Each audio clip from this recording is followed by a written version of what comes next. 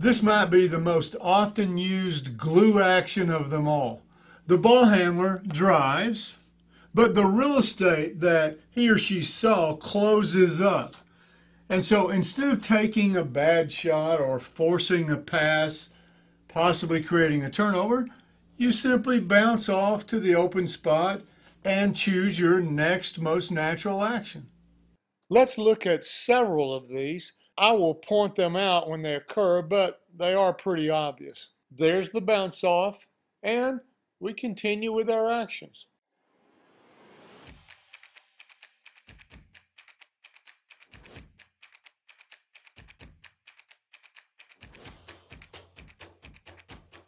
There's the bounce off.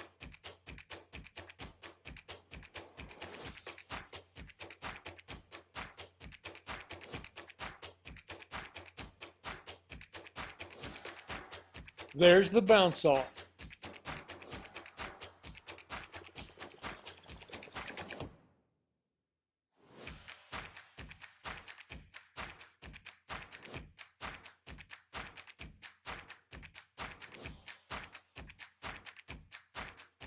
There's the bounce off.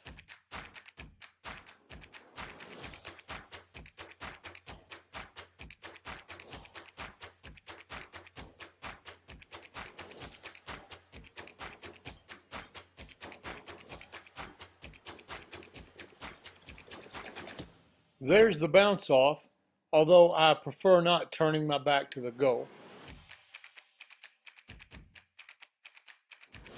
Good circle movement. There's the drive and the bounce off, and she goes on to a pass and cut.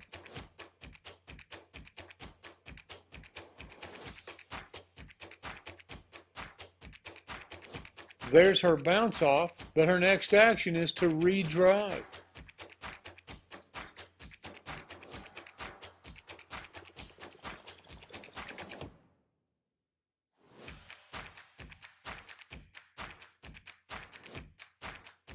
Here's why she bounces off, but her bounce off draws them too far away from the rim and leaves a teammate open. This is an excerpt of one of the 66 videos contained in the Read and React player system.